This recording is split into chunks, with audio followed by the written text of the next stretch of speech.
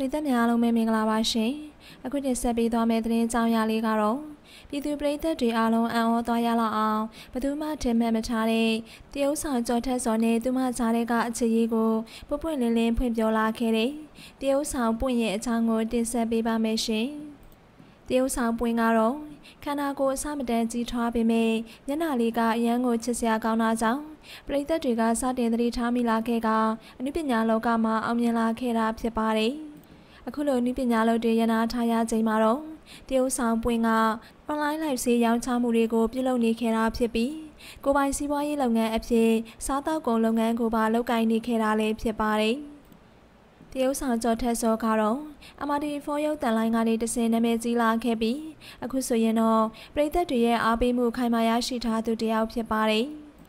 ယခုရက်ပိုင်းလူမှုကွန်ရက်ပေါ်မှာကြရက်ထားလာခဲ့တာတော့တရုတ်ဆောင်ကျော်ထက်စောနဲ့ပွင့်တို့ကြားကအချစ်ရင်းနဲ့ပတ်သက်တဲ့အကြောင်းအရာလေးတစ်ခုပဲဖြစ်ပါတယ်။ပြီးခဲ့တဲ့ February 14ရက်ချစ်သူများနေ့မှာတရုတ်ဆောင်ကျော်ထက်စောက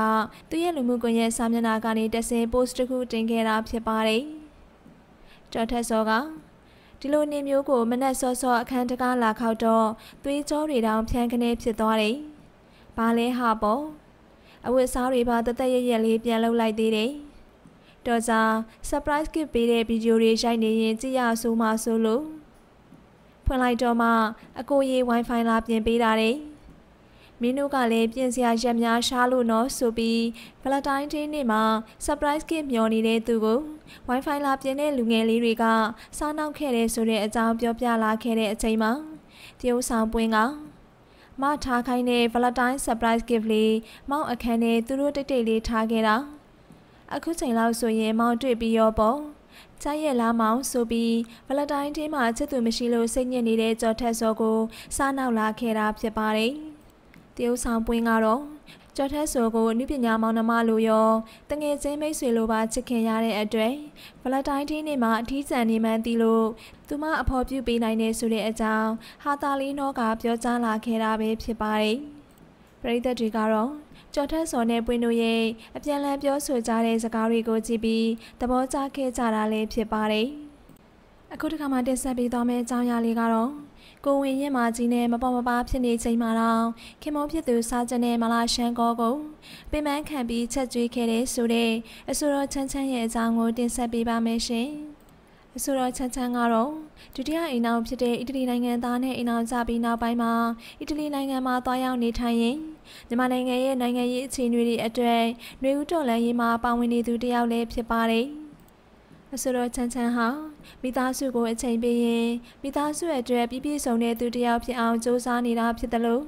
အမိမြေရဲ့ဒုက္ခဆင်းရဲတွေမှာလည်းပါဝင်ကူညီနေခဲ့သူတစ်ယောက်ဖြစ်ပါတယ်။ဒါကြောင့်မလို့လဲပြည်သက်တွေကပိုလို့ချင်နေခဲ့ရတာလည်းဖြစ်ပါတယ်။ချမ်းချမ်းဟာလက်ရှိမှာတော့တတိယမြောက်ကိုဝင်ကိုလွှဲထားရတာလည်းဖြစ်ပြီး ဂယူဆိုင်တက်တဲ့ခင်မွန်းကိုရထားတာဖြစ်တာကြောင့်ချမ်းချမ်းရဲ့အိမ်နောက်ရေးလေးဟာလည်းပရိသတ်တွေအားကျနေခဲ့ရတာဖြစ်ပါတယ်ပရိသတ်တွေနဲ့အမြဲတမ်းအဆက်အသွယ်မပြတ်ရှိနေကြတာကြောင့်ချမ်းချမ်းကသူမရဲ့လူမှုကွန်ရက်စာမျက်နှာကနေတမီးလေးတွေရဲ့ပုံရိပ်တွေနဲ့အတူသူမတို့မိသားစုဘဝရဲ့နေ့စဉ်ဖြတ်သန်းပုံလေးတွေကိုဖော်ပြလေးရှိတာလည်းတွေ့ရပါတယ်။အခုတခါမှဆိုရင်လည်းကျနာတတ်တဲ့ခင်မွန်းတဲ့အတွက်စားကျင်နာလေးတွေကိုကိုယ်တိုင်လုပ်ပေးနေတယ်လို့သိရပါတယ်။ ခင်မွန်းတဲ့စားကြနေတဲ့မလာရှန်ကောကိုသူမကိုယ်တိုင်ပင်ပန်းခံပြီးချက်ကျွေးခဲ့တာဖြစ်ပါတယ်။ခင်မွန်းဖြစ်သူကလည်းမိမလှုပ်ကြွေးတာလေးကိုအာရပါရစားနေတာဓာတ်ပုံလေးတွေကိုကြည်တာနဲ့နဲ့ကြည်နူးစရာကောင်းနေခဲ့ပါပြီ။သူတို့မိသားစုလေးဘလောက်တောင်ကြည်နူးစရာကောင်းလဲဆိုတာကတော့ပုံရိပ်လေးတွေကိုကြည့်ပြီးပရိသတ်တွေအနေနဲ့လည်းချစ်ခင်နှစ်သက်တဲ့စကားလေးပြောကြားပေးခဲ့ပါအောင်ရှင်။ အခုဆက်လက်တင်ဆက်ပေးသွားမယ့်အကြောင်းအရာလေးကတော့ပရိသတ်တွေအားလုံးသိချင်နေကြတဲ့ကိုရီးယားမင်းသားလေးလိုချောမောခံကြလို့နဲ့သူမရဲ့ချစ်သူလေးကိုဗလတိုင်းဒေးနေ့မှာထုတ်ပြလာခဲ့တဲ့တရုတ်ဆောင်မိုးဆက်ဝိုင်းရဲ့အကြောင်းလေးကိုတင်ဆက်ပေးပါမယ်ရှင်။ပရိသတ်ကြီးရှင်အနုပညာလောကမှာသာမကစီးပွားရေးလုပ်ငန်းမှာပါထူးချွန်လွန်တဲ့မင်းသမီးလေးတစ်လက်ရှိပါတယ်။သူကတော့တရုတ်ဆောင်မင်းသမီးကျော်လေးမိုးဆက်ဝိုင်းပဲဖြစ်ပါတယ်။မိုးဆက်ဝိုင်းဟာ သူမရဲ့ကိုယ်ပိုင်ထုတ်လုပ်ရေးကနေရုပ်ရှင်ဇာတ်ကားပေါင်းများစွာထုတ်လုပ်ခဲ့တာလေးဖြစ်ပါတယ်။တရုတ်ဆောင်မင်းသမီးတရားဝက်ဖြစ်ကောထုတ်လုပ်သူဝက်ဖြစ်ပါအောင်မြင်ခဲ့တဲ့မိုးဆက်ဝိုင်းဟာတကူတဲ့အပြိုကြီးဘဝနဲ့အယိုးထုတ်တော့မှလာလို့ပြည်သက်တွေမေးခွန်းထုတ်နေခဲ့ရတာလည်းဖြစ်ပါတယ်။ပြီးခဲ့တဲ့ဖေဖော်ဝါရီလ14ရက်ဗလတိုင်းတီနေ့မှာဆိုရင်တော့မူဆက်ဝိုင်းကပြည်သက်တွေအံ့ဩသွားအောင်ဗီဒီယိုလေးတစ်ခုထုတ်ပြလာခဲ့တာဖြစ်ပါတယ်။ ဒီဗီဒီယိုလေးကတော့ပြည်သက်တွေအားလုံးသိချင်နေကြတဲ့ကိုရီးယားမင်းသားလေးလိုချောမောလာပါတယ်။သူမရဲ့ချစ်သူလေးကိုထုတ်ပြလိုက်တဲ့ဗီဒီယိုလေးပဲဖြစ်ပါတယ်။မူဆက်ဝိုင်းကအလင်းပြခြင်းအမှုပညာမြင်းမြန်းခြင်းသိခံမာတော့ဆိုပြီးရေးသားလာခဲ့တာပဲဖြစ်ပါတယ်။ပရိသတ်ကြီးအနေနဲ့လည်းအနုပညာရှင်တွေရဲ့အခြေအနေနဲ့ပတ်သက်ပြီးစိတ်ဝင်စားကြတာကြောင့်မိုးစောဝါရဲ့ချစ်သူလေးကိုလည်းအခုလိုဖော်ပြပေးလိုက်ပါတယ်ရှင်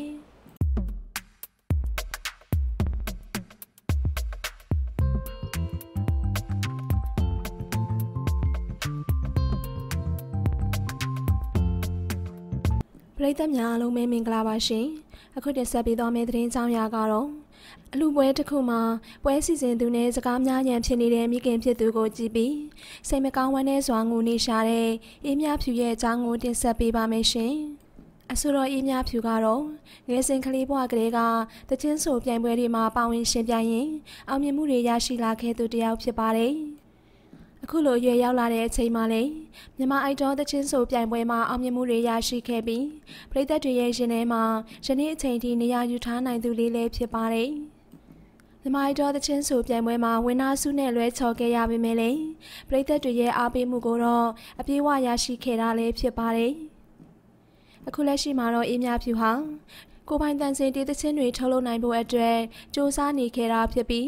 အနုပညာလှူရှားမှုအနေနဲ့ကြော်ညာတွေကိုလက်ခံရိုက်ကူးနေသလိုရှိုးပွဲတွေမှာလည်းလိုက်လံတည်ဆိုနေခဲ့တာဖြစ်ပါတယ်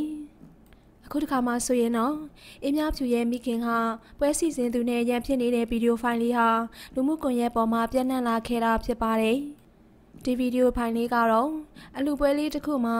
အင်းမြဖြူကိုစားကြုံမချုပ်ပဲတချင်းဆိုခိုင်းခဲ့တာကြောင့်မိခင်ဖြစ်သူကပောက်ကွဲနေခဲ့တာလည်းဖြစ်ပါတယ်။ ပြဿနာဖြစ်လာတိုင်းဒေါသနဲ့ပဲဖြည့်ရှင်တတ်တဲ့မိခင်ဖြစ်သူကြောင့်ဝမ်းနဲ့စွာငိုကြွေးနေတဲ့အင်းမြဖြူကိုကြည့်ပြီးပရိသတ်တွေကလည်းတနာနေကြတာဖြစ်ပါတယ်။ဗီဒီယိုဖိုင်လေးကိုအခုလိုတင်ဆက်ပေးလိုက်ပါတယ်ရှင်။ဟယ်လိုအဲ့ဒါအနဲ့လည်းမပါဘူး။အဲ့ဒါအနဲ့လည်းမပါဘူး။ကိုရီးယားလက်ခံတော့အနဲ့လည်းမပါဘူး။အဲ့ဒါကိုပြောချင်ပြောတယ်ကသူသူပြည့်တယ်သူလုံးခံမှု။ဟုတ်ပါတယ်။